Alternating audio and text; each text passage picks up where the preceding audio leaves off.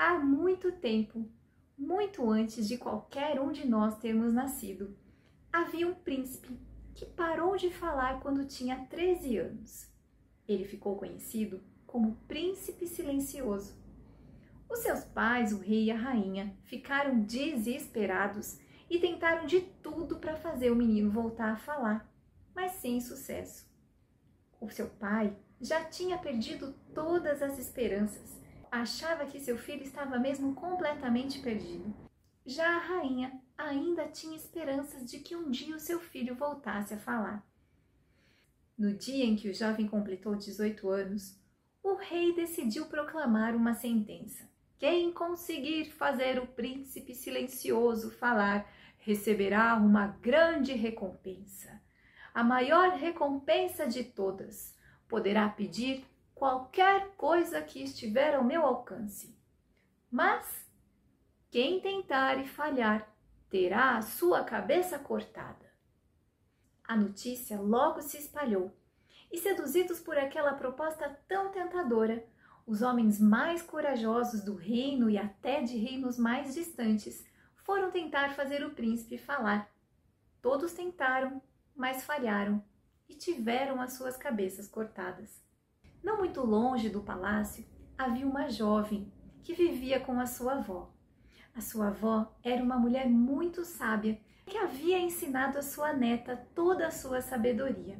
Um dia, aquela jovem decidiu que tentaria fazer o príncipe silencioso falar, ainda que a sua vida corresse risco. A jovem foi então ao castelo contar ao rei e à rainha a sua intenção. O rei ficou surpreso ao ver aquela jovem que tinha a idade do seu filho, tão nova e tão corajosa. Mas se é isso que você quer, ele disse, eis as regras. Você passará a noite no quarto do meu filho, na presença de uma testemunha. Na manhã seguinte, eu e a rainha iremos lá, e a testemunha nos dirá o que viu e ouviu. Então, naquela noite, a jovem entrou no quarto do príncipe e sentou-se em silêncio. O príncipe ficou espantado, afinal, Todos os homens que ali estiveram para tentá-lo fazer falar ficavam falando o tempo todo. Mas ele aproveitou aquele silêncio para ficar admirando a beleza daquela jovem. Depois de muito tempo, a jovem decidiu falar, mas ela não dirigiu-se ao príncipe, e sim à testemunha. Ela disse: Amanhã eu vou morrer. Será que você podia me contar uma história para eu passar o meu tempo? E a testemunha disse: Mas eu não sou nenhum contador de histórias, eu sou apenas uma testemunha. E a jovem disse: E se eu contar uma história? Você me ouve? A testemunha disse: Sim, sem problemas.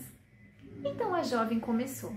Era uma vez três mulheres que tinham poderes especiais. Uma delas possuía um telescópio mágico e com ele ela podia observar qualquer coisa que estivesse acontecendo em qualquer lugar do mundo. A segunda mulher possuía um tapete mágico que podia levá-la a qualquer lugar do mundo imediatamente. A terceira mulher, por sua vez, possuía uma maçã mágica, a maçã da vida. Bastaria uma mordida naquela maçã para que qualquer doença fosse curada. Um dia, as três jovens conversavam sobre seus poderes quando a dona do telescópio viu que um príncipe estava morrendo do outro lado do mundo. Rapidamente, ela chamou suas amigas. A dona do tapete pediu para todas subirem no seu tapete mágico e imediatamente chegaram ao castelo do príncipe. A dona da maçã mágica ofereceu ao príncipe um pedaço de sua maçã. Ele mordeu e imediatamente ficou curado. E ele ficou tão grato por ter sido salvo por aquelas jovens, que pensou: eu ainda sou jovem, tenho saúde e sou solteiro. Acho que deveria pedir a mão de uma delas em casamento. Nesse momento, a jovem contadora de histórias interrompeu a sua narrativa e, virando-se à testemunha, perguntou: E agora? Qual dessas três mulheres o senhor acha que o príncipe deveria escolher para se casar, se todas o salvaram? E a testemunha disse: Vixe, eu não faço a menor ideia. Eu nunca fui bom em charadas. Nesse momento, o príncipe, que havia ouvido toda a história atentamente, levantou a mão e disse: Eu tenho uma ideia. Sim, o príncipe falou depois de tanto tempo. A jovem contadora de histórias abriu um grande sorriso e disse: Eu fico muito feliz em saber disso, ó príncipe. Diga, qual é a sua ideia? Bom, o príncipe respondeu. Eu acho que ele deveria pedir a mão da mulher que lhe ofereceu a maçã. Porque a mulher do telescópio não perdeu nada ajudando o príncipe. A mulher do tapete mágico também não. Já a mulher da maçã abriu mão de um pedaço dela e não poderá recuperá-la. Na verdade, ela foi a única que abriu mão de alguma coisa pelo príncipe. A jovem contadora olhou bem nos olhos do príncipe e disse: Sabe a resposta, ó príncipe. E eu espero que um dia você também encontre alguém que abra mão de alguma coisa por você. E assim que amanheceu, o rei e a rainha já estavam apostos em frente ao quarto do príncipe para saber o que tinha acontecido. O rei perguntou à testemunha o que ela tinha visto e a testemunha disse: Vossa Majestade, nessa noite o seu filho falou. A rainha ficou muito feliz, dava pulo de alegria. Eu sabia, eu sabia que o nosso filho podia voltar a falar, mas o rei não acreditou. Achou que a testemunha tinha ficado com dó por ser uma mulher tão jovem e não queria que ela morresse. Não, não, não, não, disse o rei. Eu preciso tirar a prova. Insisto em mais uma noite, dessa vez com duas testemunhas.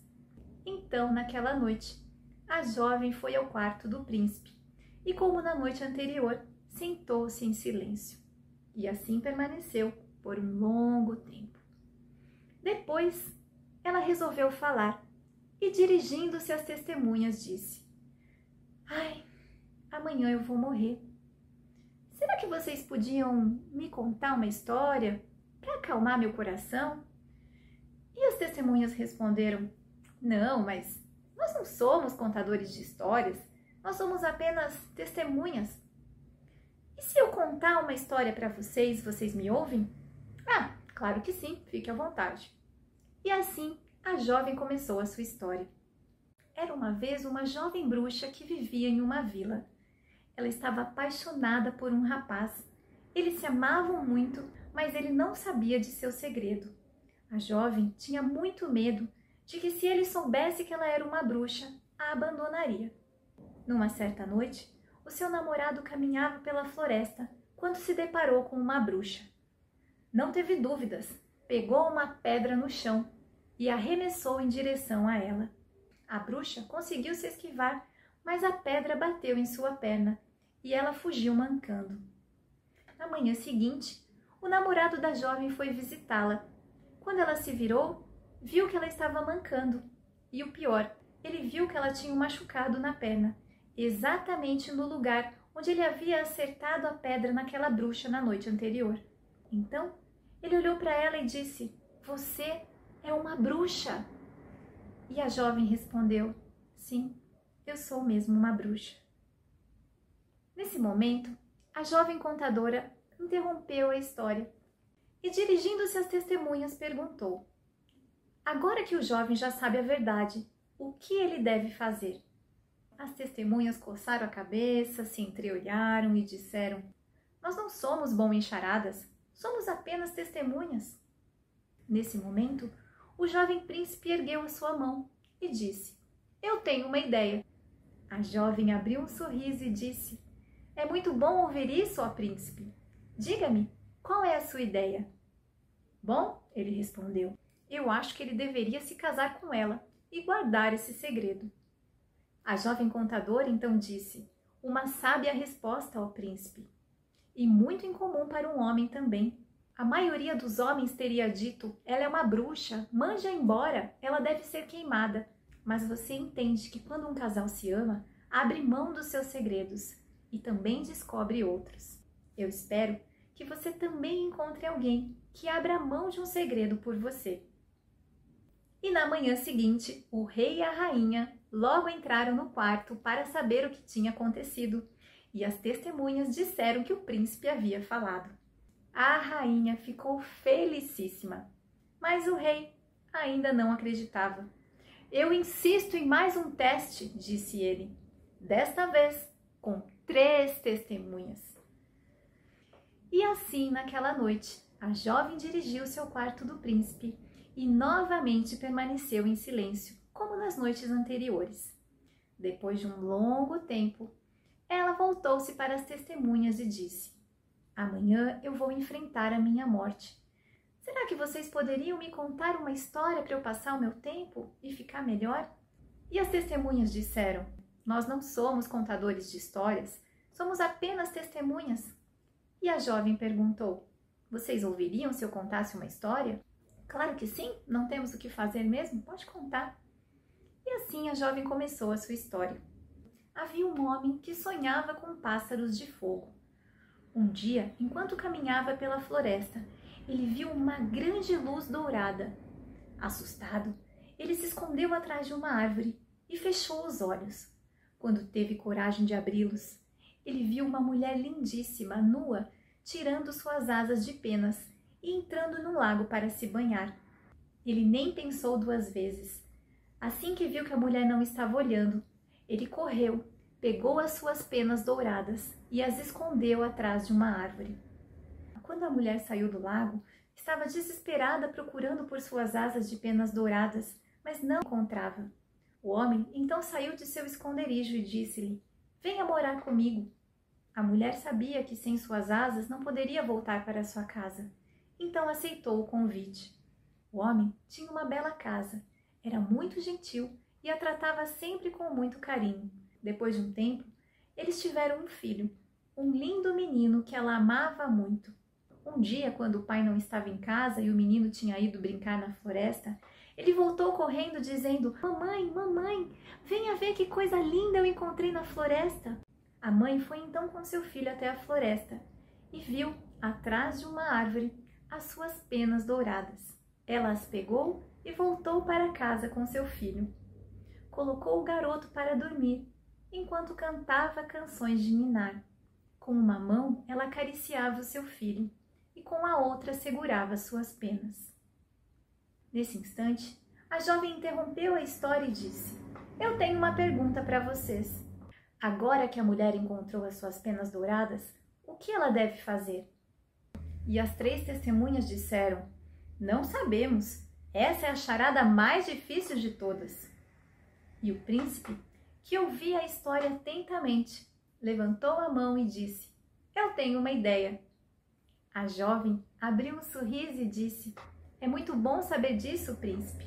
Conte-nos a sua ideia. E ele disse: Eu acho que eu não posso julgar nem o homem e nem a mulher da sua história. A sua história é ao mesmo tempo doce e amarga. Se eu fosse o homem e pudesse ver o pássaro de fogo em sua forma verdadeira, numa belíssima mulher, eu faria de tudo para ficar com ela. E se eu fosse a mulher que tinha vindo do céu, estaria muito ansiosa para voltar para lá. Muito sabe a resposta, ó príncipe, disse a jovem. Algumas histórias não são para serem julgadas, são apenas para serem ouvidas e lembradas. A jovem então continuou a sua história e disse: A mulher beijou o seu filho, saiu, vestiu suas penas e voou em direção ao infinito. Quando o homem retornou, ela já havia partido. Mas o que aconteceu com o menino? perguntou o príncipe. A jovem sorriu e disse: Alguns dizem que ele chorou tanto por sua mãe que ele perdeu a voz e ficou silencioso. Outros dizem que quando o menino acordou, ele viu uma pena dourada em seu travesseiro, e aquela pena lhe trouxe sorte, coragem, alegria e amor pelo resto de sua vida.